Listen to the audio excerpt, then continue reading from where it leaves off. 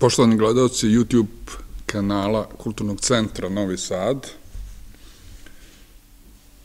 evo nas u još jednom predavanju, u ciklusu predavanja o Kosovu i Metohiji, koji smo osmislili da bi možda lakše sagledali aktuelni kontekst naše kosovske krize, koja i nije čak samo aktuelna, nego se odvija u kontinuitetu, ja bih rekao da je finalizacija tog procesa počela 1999. godine od NATO bombardovanja naše države i da e, praktično, e, naravno bilo je i pre, a upravo zato i radimo ova predavanja, ali od tada praktično počinje finalizacija onoga što negde i u ovom aktuelnom trenutku doživljavamo. E, suština priče je da se zapadne sile na čelu sa Sjedinjim američkim državama zalažu da takozvano Kosovo, odnosno Kosovo i Metohija, kako mi kažemo, postanu nezavisne, da čitava konstelacija snaga u svetu nama ne ide na ruku poslednjih decenija i da mi zaista imamo velikih problema ne bili odbranili našu svetu zemlju. Ona je svakako sveta zemlja i svakako nama znači u jednom identitetskom smislu, temeljnom smislu, hrišćanskom smislu, pre svega, rekao bi čak više nego nacionalnom smislu i ova kriza ima, odnosno ova, ove krize i ova kriza koja je u kontinuitetu ima i pozitivan smisao, ako mogu tako da kažem, jer nas drži konstantno napetim, jer čitava ta situacija oko Kosova i Metohije, čitava ti pritisci međunarodne zajednice koji ili zapadnog dela civilizovanog sveta, jel, a, govore koliko je ono bitno i ono i nas drža negde napete na, na oprezu i konstantno ovaj, fokusirane na značaj Kosova i Metohije.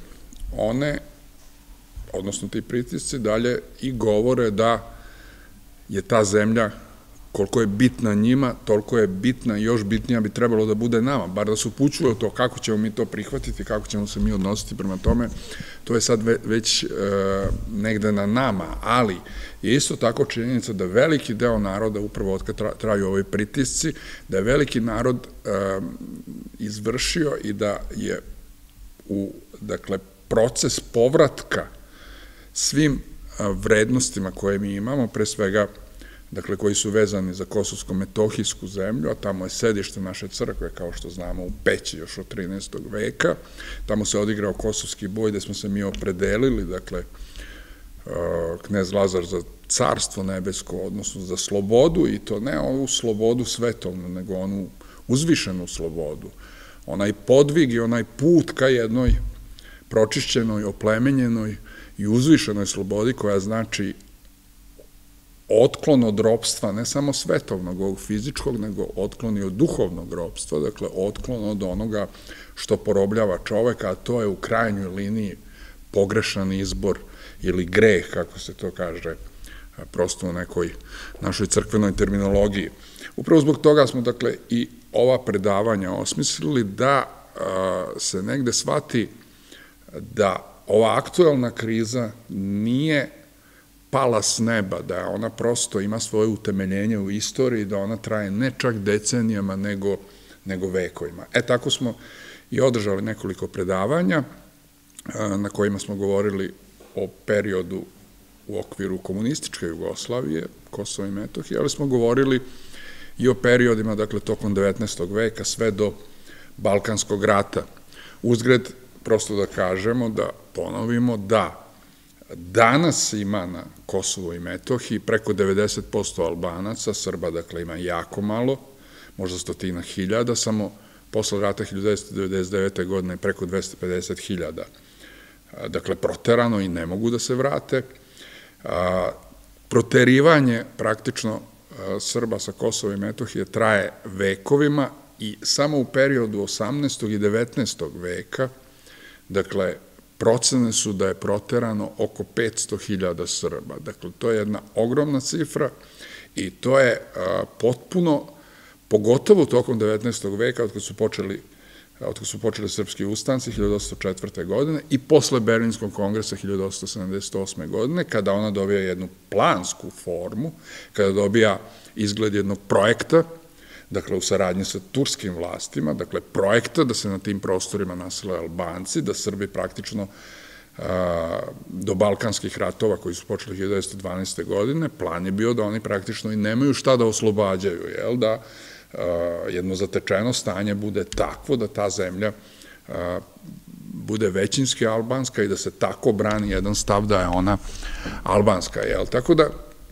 to su stravične cifre i to bez jednog planskog delovanja, jednog projekta, dobro osmišljenog i nije moglo da se ostvari. Period poslednji posle Berlinskog kongresa, dakle pre Balkanskih ratova, je procena da iz stare Srbije, dakle iz predela Raške, Kosova i Metohije i Zapadne Makedonije, proterano oko 400.000 ljudi, a sa samo Kosova i Metohije, par Cvić govori oko 150.000 ljudi. Dakle, to je jedna ogromna opet cifra kada se demografija zaista pomera već polovinom 19. veka, pa nadalje sve više i više, na albansku stranu, dakle, kada Kosovo i Metohija zaista postaje većinsko albansko. Takođe, moramo reći da upravo zbog tih pritisaka, zbog života u okviru Turske imperije, koja je bila islamska država, dakle, Albanci većinom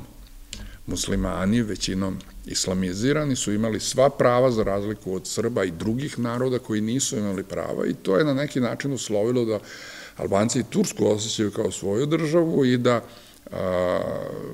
praktično Srbi obespravljeni pod stalnim pritiskom, pod stalnim nasiljima napuštaju, napuštaju te prostore. Svi ti izgnanici od 1878. godine, njih 150.000, je praktično boravilo u Srbiji i oni su čekali, nadali se da će se jednog trenutka vratiti na svoju zemlju, što će se dobrim delom i dogoditi, ali posle balkanskih ratova. Mi ćemo ovde o balkanskim ratovima progovoriti samo u kontekstu Kosova i Metohije, znači nećemo obrađivati balkanske ratove u jednom širem obimu. Ovde je bilo predavanja koja su to dakle uradila. Takođe još treba samo da istaknemo da albanski pokret počinje da se razvija od 1878. godine albanski nacionalni pokret, da od tih raštrkanih plemena praktično pod uticajem pre svega zapadnih sila, počinje da se formira jedna vrsta nacionalne svesti i albanska elita, pogotovo posle Prizrenske lige, kada je formulisala svoj albanski nacionalni program, koji i dan danas je praktično nepromenjen, Dakle, od tada ona i u okviru Turske imperije pokušava na neki način da ostvari svoje nacionalne ciljeve. Naravno, oni Tursku i dalje osjećaju kao svoju državu, jer su i privilegovani, ali na neki način pogotovo pod uplivom velikih sila kao što su Austrija, Italija, a takođe i Britanija, koja ima uvek krovnu kontrolu nad čitavim praktično evropskim kontinentom i koju zanimaju uvek sve stvari na evropskom kontinentu. Dakle, pod njihovim uticajem Albanci sve više dolaze na ideju i počinju da se kreću u pravcu formiranja svog nacionalnog, nacionalnog programa. To će biti naročito vidno početkom 20. veka, kada i Turska, koja je praktično osjećana od strane Albanaca kao matična, gotovo kao matična država, već više ne bude mogla da održava kontrolu nad, nad Albancima i kada bude e, dolazilo do raznih nesporazuma između praktično Turske imperije i albanskog faktora unutar nje. Otuda je na neki način čudno što i srpska zvanična politika nije znala i pred Balkanski rat i kada je počeo Balkanski rat ili nije dovoljno dobro ušla u tu problematiku, jer su eh, jer je tadašnja zvanična Srbija smatrala Albance otprilike kao skup raštrkanih plemena sa kojima će moći na neki način da ne manipuliše, ali na neki način da ih drži pod kontrolom. Iako, već od Garašanina se razmišlja o stvaranju albanske države, jer nisu sporni predeli Albanaca koji su sada u okviru albanske, zvanične albanske države, dakle to nije sporno da od srednjeg veka albansko, pa se računalo na neki način sa stvaranjem albanske države. Međutim, kao što sam rekao, i drugi faktori su uticali na to i Albanija i albanski faktor kao i danas im je služio za penetraciju, ulazak u balkanski prostor. Otuda je i srpska država pokušavala na neki način da definiše kako i šta sa Albancima. Mislim da nije dovoljno se shvatalo koliko je to teško i koliko će biti taj problem težak. Većinom se računalo u smislu najezdom Turaka su predeli stare Srbije i čitave Srbije, jer ušli u sastav Osmanlijske imperije, kada je počela kada je počelo povlačenje Turaka i prodor srpske države od srpskih ustana, kada je potpuno prirodno da u nekom trenutku se uspostave stare granice između srpskog i albanskog faktora, srpskog i albanskog naroda, a to je podrazumevalo da stara Srbija, uključujući Kosovo i Metohiju, uđe u sastav novostvorene države Srbije, jer e, je ona istorijska srpska zemlja, jer je ona, e, dakle, bila, pogotovo još u 16. 17. pa čak i u 18. rekoh, rekoh polovinom 19. veka je tek narušen taj demografski faktor. Znači, ona je praktično u tom vremenu, možemo reći, nekoliko decenija ranije još uvek bila etnički većinski srpska, tako da se smatralo da je potpuno prirodno da ona uđe dakle, prostori stare Srbije, uključujući Kosovo i Metohiju, da uđu u sastav nove srpske države. Vodeće svetske sile, pre svega Beč, su drugčije računali, kao što rekao, računali su na albanski faktor kao faktor destabilizacije na ovom prostoru i faktor njihove penetracije, dakle, u prodoru na jug. Otuda kada su krenuli, dakle, balkanski ratovi, kao što znamo, sklopili su Savez Srbija, Crna Gora, e, Grčka i Bugarska. E, operacije su bile izuzetno uspešne, Turska imperija je bila uzdrmana, Srbi su nastupali pravcem, dakle, prema Kosovu i Metohiji, između ostalog i prema Makedoniji, tako i podeljena kriva palanka, Veles i Okri, dakle, ta, ta demarkaciona linija između Srbije i Bugarske, da zapadna Makedonija praktično uđe u sastav Srbije, jer je ono neosporno. I Srpska, dakle, na tom pravcu ni Albanci nisu bili toliko motivisani da pružaju otpor, kaže da od 60.000 vojnih obveznika Turska uspela da mobiliše oko 16.000 i oni nisu pružali neki snažan otpor, kao da je bio neki trenutak jasan da je ovo čas kada dolazi do oslobođenja Kosova. Govorili su osvete Kosova ali ja bih rekao pre oslobođenja Kosova i povratka na jedno legitimno stanje koje je narušeno turskom penetracijom na Balkansko poluostrvo. Dakle, kao da, je, da se osjećaju u narodu srpskom, pa je otud entuzijazam bio, nadahnuće je bilo veliko, a kao da s druge strane Turska izmorena, trošna, potpuno već neupotrebljiva, Moramo još napomenuti da je to zemlja, kako Cvić govori, da je to bila zemlja, taj deo Turske, zemlja najveće anarhije i nasilja, zemlja, dakle, gde ni zakona, ni reda nije bilo, a gde su, kao što smo i rekli, najviše Srbi patili. Naravno i ostali, ali Srbi su bili najmnogobrojniji, to je bila njihova zemlja i čitav taj projekat da se promeni demografska struktura te zemlje bio usmeren naravno protiv najbrojnijeg naroda tu, a to su bili Srbi. Dakle, srpska vojska je brzo prodirala i brzo je ušla u Prištinu. Kasnije će doći do Kumanovske bitke kad bude oslobođena i praktično čitava ili taj deo, Vardarski deo Makedonije. Dakle, ona je operisala na tom ratištu gde su bili Albanci koji nisu pružili neki naročit otpor. Dakle, i oni su na neki način bili demoralisani i oni nisu imali, kao da nisu imali nekog naročitog motiva da ratuju za Tursku imperiju. Bilo je čak među albanskim vođama i jakih pritisaka zagovora da se ratuje za, za Tursku. Kažem opet, jedan deo Albanaca je to i uradio, jer oni su to radili tokom čitave istorije, ali sada, zbog svih tih faza koje su prošle u formiranju svog nacionalnog pokreta, oni su i sada posle tog izgubljenog rata koji je brzo, praktično se videlo da će Turska izgubiti rat, oni su, dakle, počeli da rade u pravcu stvaranja albanske države, da se ograde od Turske imperije i da rade na stvaranju albanske države.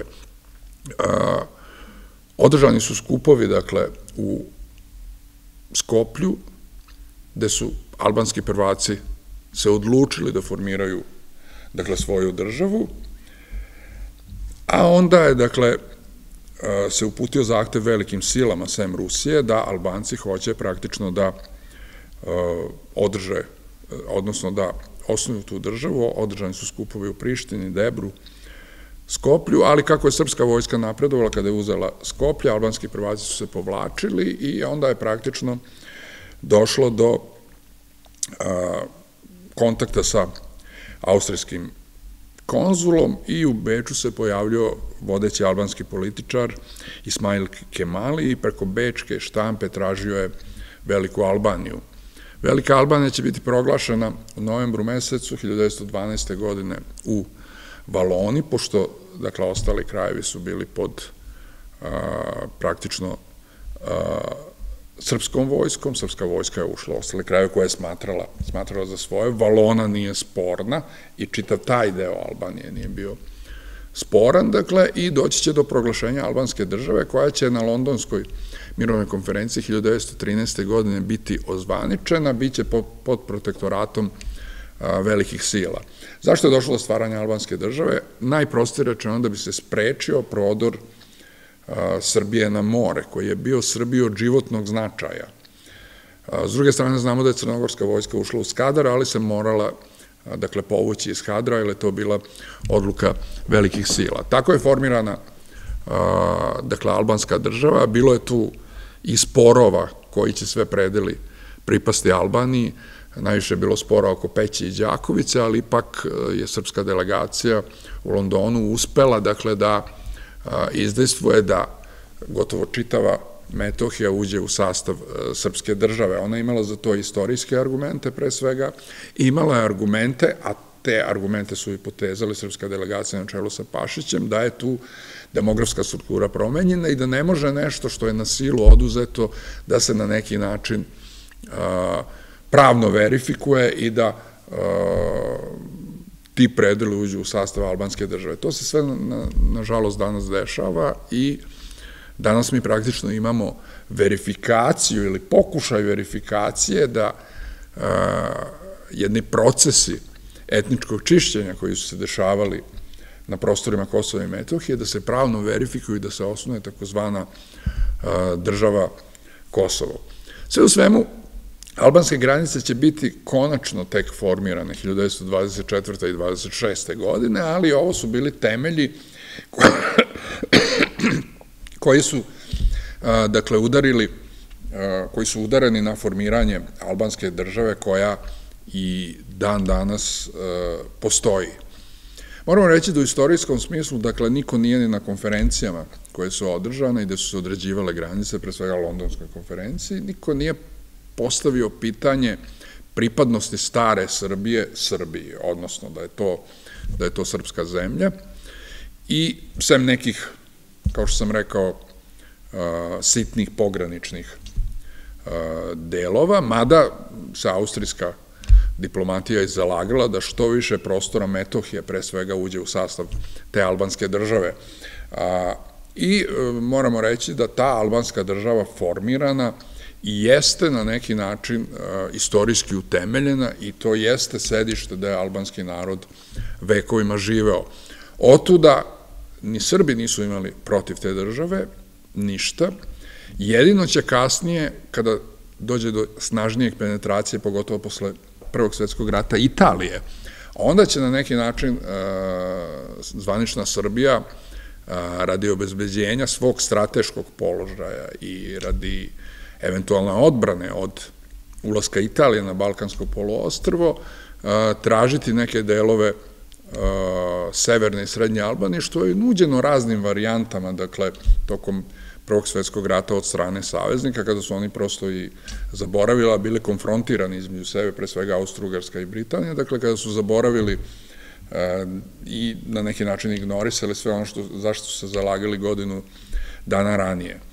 No, bilo kako bilo, dakle, Balkanski ratovi su završeni oslobođenjem stare Srbije, uključujući Kosovo i Metohiju. Ono se vratilo posle gotovo 500 godina u okvire srpske države, što je sada, dakle, davalo jednu novu situaciju i što je sada uslovilo da srpska država ima mnogo više posla nego što se nadala da će uopšte imati. Rekao sam da zvanična Srbija nije dovoljno, pitanje da li to i moglo da se shvati, koliki će to biti problem i koliko je teško integrisati jedan narod sa kojim je i država koju su oni osjećali kao svoju i koja je država potpuno islamska, potpuno, dakle, država u kojoj su oni uživali sve privilegije sva prava, za razliku od Srba koji su bili obespravljena raja, dakle, kad ta država u nekim svojim poslednjim trenucima nije mogla da kontroliše taj narod, koliko je bilo teško, dakle, da u jednoj novoj državi dva konfrontirana naroda sada na neki način, tako oni hoće da predstave u promenjenim ulogama, dakle, gde su sada Srbi u svojoj državi, koliko će to biti teško integrisati, dakle, albanski faktor.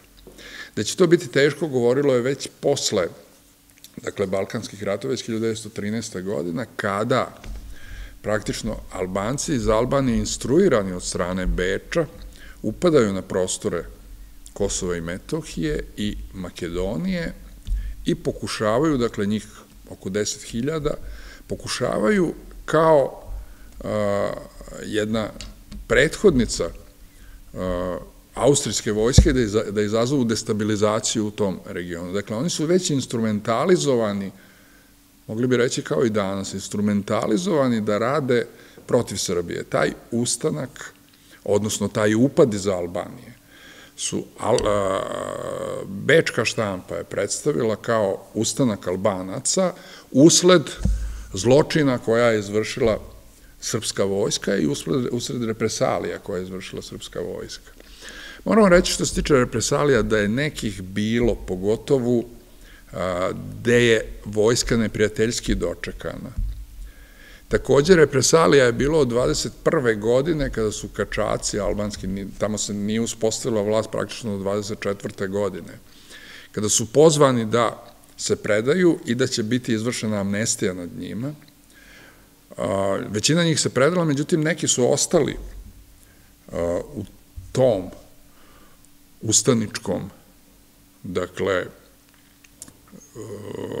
ustaničkoj borbi protiv države, pa su onda od tih ustanika često imanja konfiskovana i deljena srpskim doseljenicima. Međutim, to nije bila praksa, to su bili izuzeci. Takođe moramo reći da su i albanske čete često dočekivale, dakle, srpsku vojsku neprijateljski izvršile i oni mnogo zločina, mnogo sela srpskih popaljeno. Dakle, to sad govorim samo u okviru Balkanskog i Prvog svetskog rata. Recimo, poznat je slučaj 1915. godine, da je jedna srpska četa od 60 ljudi i nekoliko oficira, dakle, pobijena i poubijana u manastiru Svetog Marka, dakle, njih preko 60, da su poubijani i na potpuno mučki način i da je mnogo vojske stradalo, dakle, srpske tokom, tokom povlačenja u Albaniju.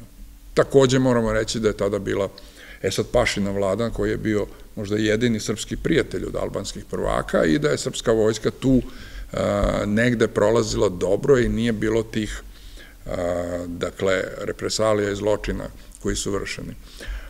Ono što je jako bitno, još samo to hoću što se tiče balkanskih ratova, dakle, austrijska propaganda je govorila o velikim zločinima srpske vojske i to se često i danas ponavlja. A, međutim, čak je angažovana jedna komisija neutralna koja je ispitala i našla je da nije bilo značajnih represalija od strane srpske vojske. Šta više, bilo od strane Bugarske i Grčke, pa čak i od Crnogoraca u onom delu, dakle, gde, bar su se tako Albanci žalili, u onom delu gde će Crnogorci pripojiti, dakle, Peć, jedan deo Metohije, gde će biti organizovana i Pećka eparhija do 1931. godine, na čijem čelu će biti budući patrijar Gavrilo Dožić, jel? Dakle, od strane srpske vojske nije čak i e, bečki austrijski poslanik u Beogradu upravo to izjavio da Albanci prosto tako govore na prostoru i Kosove Metohije i na prostoru Makedonije, da su zadovoljni postupanjem srpske vojske, a žalili su se na crnogorske vojnike da su oni na neki način vršili neke vrste represalija. Koliko to sve tačno, to bi trebalo da se udubi možda malo više, ali ono što sigurno možemo reći da je u kontekstu održavanja jednog statusa Srbije kao neprijatelja i onoga koji sprečava prodor Beča ka Solunu, dakle, je stvarana slika o Srbima kao varvarima i kao nekima koji su u stvari civilizacijski nedorasli za tu državu, ali kontekst je uvek bio da je takav jedan stav, da su diktirali geostrateški interesi, kao što se to desilo i 90. godina, kao što se to dešava i danas. Dakle, tu moramo biti jako oprezni, videti šta se stvarno dešavalo, ali možemo reći u svakom slučaju da se srpska vojska, vojska generalno govoreći ponašala časno i dostojanstveno. Pogotovo kada uzmemo u obzir sve ono što se dešavalo, kao što sam rekao, prethodnih decenija i prethodnih stoleća na prostorima, dakle, Kosova i Metohije. Sve u svemu mi sada ulazimo u period, pogotovo posle Prvog svetskog rata, kada taj demografski faktor prvi put prelazi na, tako da kažemo, na srpsku stranu.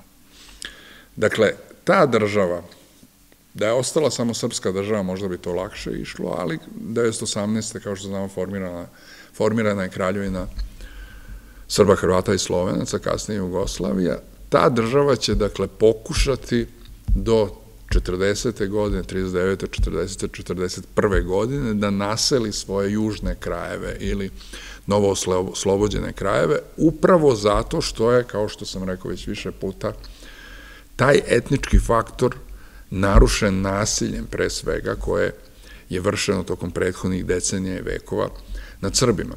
Čak će Crna Gora već krajem 1912. godine naseliti u Metohiji dakle svoje koloniste koji će već kada počne prvi svetski rat da se povuku, ali će se kasnije vratiti 1919. godine. Srbija će u februaru 1914. godine doneti dakle uredbu o naseljavanju novooslobođenih krajeva, međutim neće biti vremena da se krene dakle u realizaciju jednog takvog projekta i poduhvata, jer je izbio prvi svetski rat. Otuda će se to pitanje postaviti u svoj svoje složenosti i dakle posle posle drugog, odnosno prvog svetskog rata. Ono što je srpska država trebala da uradi sada, odnosno jugoslovenska država, trebala je tri stvari da uradi. Da obezbedi zakonitost na tom prostoru gde je vladalo bezakonje i anarhija, možda najveća u svetu. Mi danas često govorimo da su Srbi nacionalna zajednica koja e, ima najmanja, na Kosovo i Metohiji, koja ima najmanja prava u svetu, najdiskriminisanija. To je tako bilo i onda, tako da ovo današnje, ovaj, opet kažem, je samo kontinuitet nečega što se vekovima, decenijima i vekovima dešava. Dakle, u jednu takvu sredinu je trebalo uvesti zakone, u sredinu koja baš i ne zna za zakone, koja nije naučila da funkcioniše u zakon, e, u okvirima zakona, u kojoj nema pravne svesti. Ono što je najbitnije, dakle, nema pravne svesti, prosto to je zemlja koja je pljačkana jako dugo i koja je isticala pravo odnosno isticali su pravo na nju oni privilegovani iza kojih je sila bila.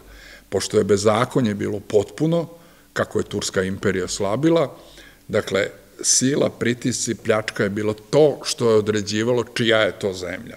Albanci su bili u većini privilegovani i, kao što znamo, ona je tako dolazila u njihove ruke. Dakle, vratiti zakonitost tu, ukinuti feudalne odnose, što je u Srbiji, kako se Srbija oslobađala, tako su u njenim predelima ukidani feudalni odnosi, To je Srbima bilo lakše nego zapadnim narodima, jer feudalni odnosi su bili skopčani sa stranom vlašću, sa osmaninskom vlašću, tako da već Miloš Obrenović uh, kreće u taj proces i kako se oslobađaju određeni delovi Srbije, tako se ukidaju feudalni odnosi i uh, treba da se izvrši kolonizacija, dakle da se ta demografska slika popravi.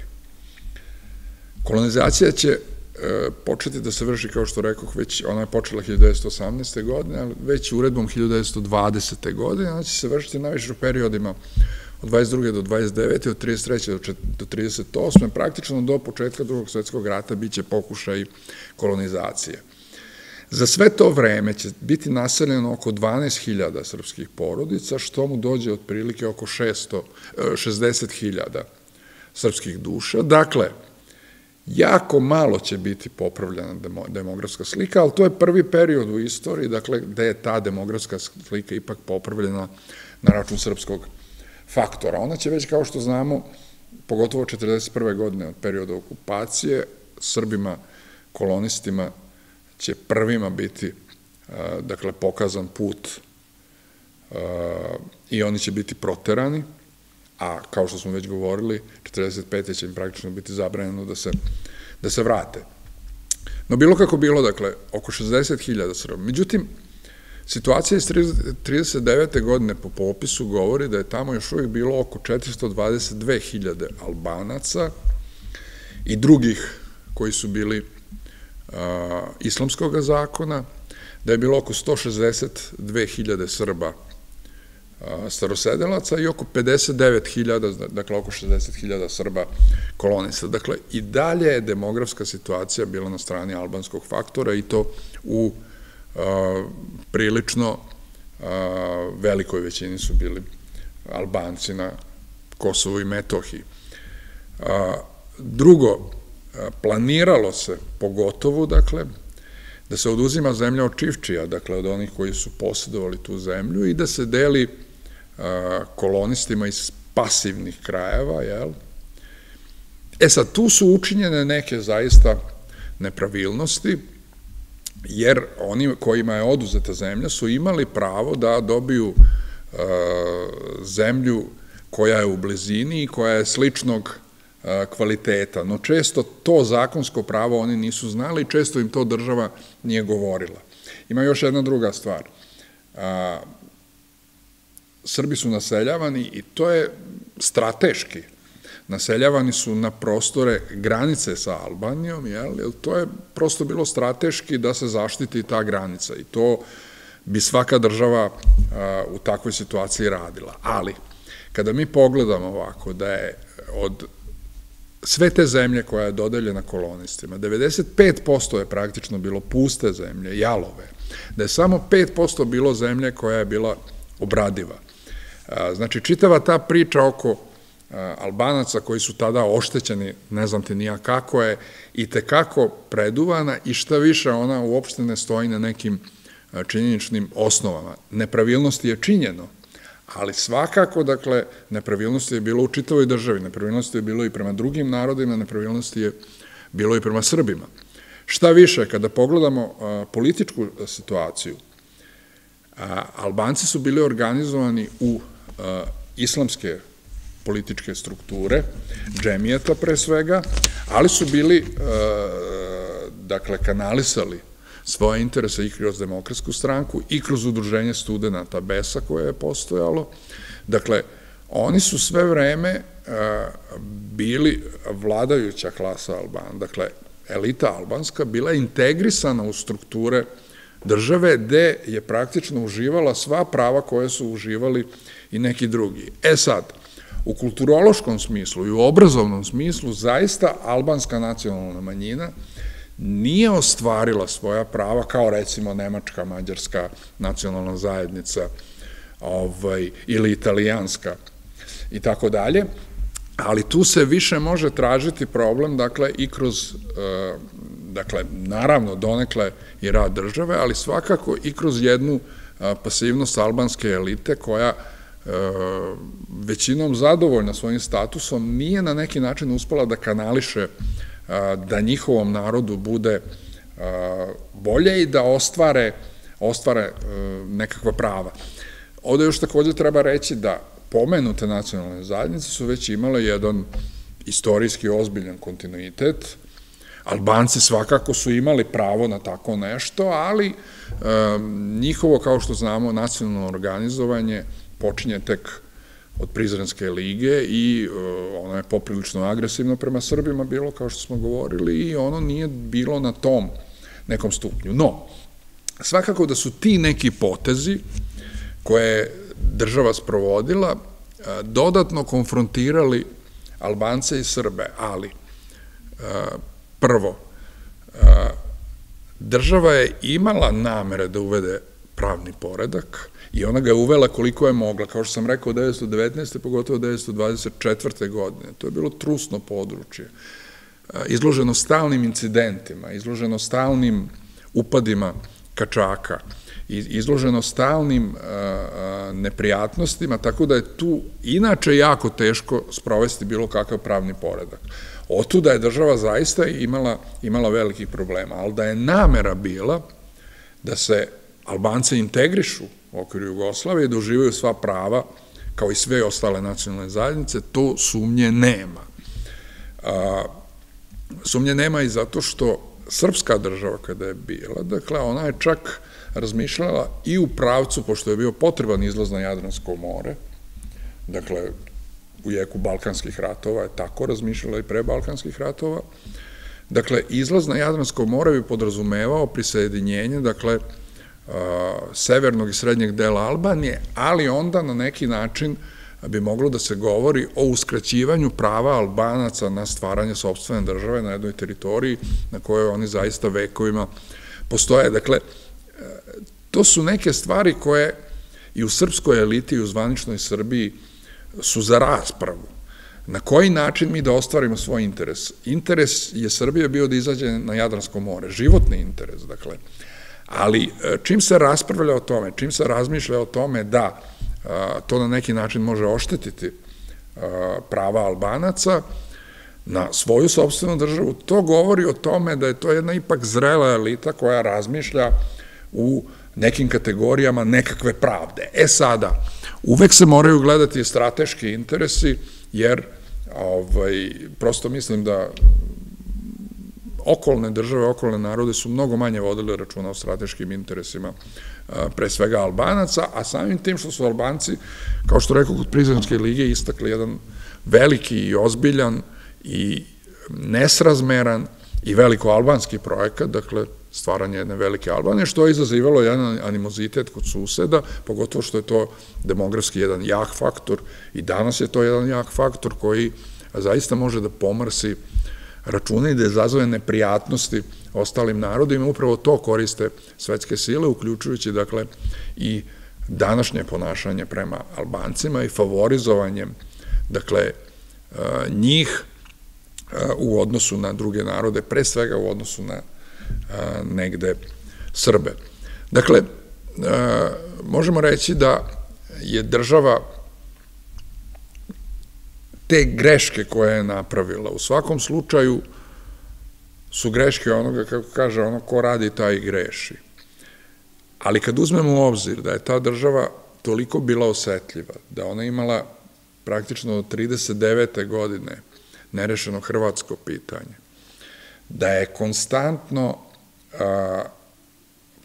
pod pritiskom svaka vlada njena, jer postoji srpsko-hrvatski spor. Dakle, taj srpsko-hrvatski spor je primetan od starta, a pogotovo od 28. godine od ubijstva u Skupštini Puniše Račića. Dakle, Hrvati su u jednoj defanzivi, oni bojkotuju tu državu. Kada se setimo da je ta država praktično, od kada je napravljena, kao versajska, kao plod versajskog evropskog sistema država, dakle da je trn u oku gotovo svim susedima, pogotovo Italiji koja je bila najmoćnija, kada uzmemo u obzir, dakle, da u toj jednoj jugoslovenskoj ideologiji je došlo do jednog odstupanja od onog e, zavetno srpskog identitetskog pogleda na svet, doživljaja sveta, doživljaja nacije i tako dalje, a to već vidimo 30. godina kada se pojavljuju pokreti u okviru crkve, pre svega i onih crkvenih ljudi, kada dolazi do prvi put do promovisanja termina svetosavlja i tako dalje, jednog autentičnog srpskog pravoslavnog hrišćanskog puta, kada se setimo konkordatske krize, gde se već u crkvenim krugovima shvatilo, dakle, da zbog tih svih pritisaka, ideoloških, ideološka strujanja, pre svega komunizam, je uzdrmavao temelje te države. Zaista u toj situaciji bilo koja vlada teško da bi nešto više uradila po pitanju dakle, bilo kog faktora, u ovom slučaju po pitanju albanskog faktora. U svakom slučaju ne možemo porediti, ni u kom slučaju se ne može porediti položaj Albanaca sa položajem Srba koji su imali, dakle, u okviru Turske imperije, kada su praktično na prostorima Kosova i Metohije oni koji su bili odgovorni i koji su praktično vladali u tom delu Osmanlijske imperije, bili albanski begovi, albanska elita. Dakle, to je stanje za ne uporediti. U ovom slučaju je jedna civilizovana država pokušala da, dakle, ispravi stvari koliko je mogla. Da će to ići teško, to se videlo brzo, pa je bilo pregovora, i time ćemo i završiti predavanje, dakle, još nekoliko minuta, bilo je pregovora o tome i bilo je namera da se albanski faktor po jednom modelu, kako se islamski faktor selio iz novoslobođenih srpskih krajeva, dakle da se iseli, Albanci su počeli da se iseljavaju, no to su bile male migracije u Albaniju i u Tursku, to je nekoliko desetina hiljada ljudi možda, dakle to su bile male migracije, odmah posle Prvog svetskog rata. Zašto je došlo do tih migracija? Tu se opet često govori da, je, da su one bile pod prisilom. Ne. Prvo, Albanci su teško mogli, kao i svi stanovnici Turske imperije, da prihvate državu koja nije islamska. Dakle, da prihvate državu koju su oni naučili da imaju sva prava, u kojoj su oni naučili da praktično rezultat njihove vladavine bude pustošenje srpskih krajeva. I sad jednom oni treba da prihvate jednu pravnu državu, gde su oni ravnopravni sa ostalim narodima, sa Srbima. To je prvo bilo što oni nisu mogli da prihvate, ali oni tu državu nisu mogli da dožive kao svoju i nikad je nisu doživjeli kao svoju i mislim da je e, tu često i dobronamerne kritike na račun srpskih vlasti, da nisu dovoljno uradile, mislim da su pretarane, ali to je jako teško bilo i jako je teško bilo izvesti takav konstrukt i takav model državnog i društvenog uređenja da Albanci uopšte prihvate tu, državu. No, tako je kako je. Ali bilo je tokom 30. godina, dakle, e, pokušaja, dakle, mm, e, pokušaja bez ikakve zle volje i e, srpska država je ušla u pregovor sa Turskom od 30. godina i 36. godine već je bilo dogovoreno da se 200.000 Albanaca iseli. O tome se često priča. E, bilo je dogovoreno zato što su Turci smatrali potpuno ispravno da bi Albanci brzo bili asimilovani i oni su uvek doživljavali Tursku kao svoju državu i oni su zajedno sa e, tim Turcima koji su želeli da se isele i to se smatralo dakle, da će to biti dobrovoljno iseljavanje, samo da se finansijski pomogne, dakle da se tim iseljenicima i kolonistima za Tursku pomogne. Već 38. godine još uvek bilo govora o tome, tada su i srpske institucije govorile, kada su svi videli da problem Albanaca teško može da se reši, čujemo iz vojnih krugova često da se na tome više poradi. Srpski, Srpski kulturni klub je izašao sa tom tezom, ali pod uslovom, dakle, da se, kao što rekao, uz jedno dobrovoljno iseljavanje, smatrao se da Albanci to manje više žele, sad koliko su želeli, to je već drugo pitanje, ali da se obezbede finansijska sredstva, prvo je bilo dogovoreno da